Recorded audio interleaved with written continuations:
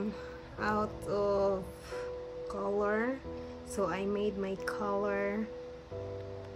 Mm, it's not perfect. So, hello guys! Nahirapan ako sa aking drawing. Ito yung aking drawing. Ayan, tada! Wala kasi akong ibang kulay, kaya nag-create ako ng sarili kong mga kulay para sa kahoy and everything.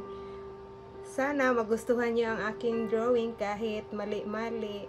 Thanks for watching and don't forget to subscribe my channel and the thumbs up guys. Thank you. Bye.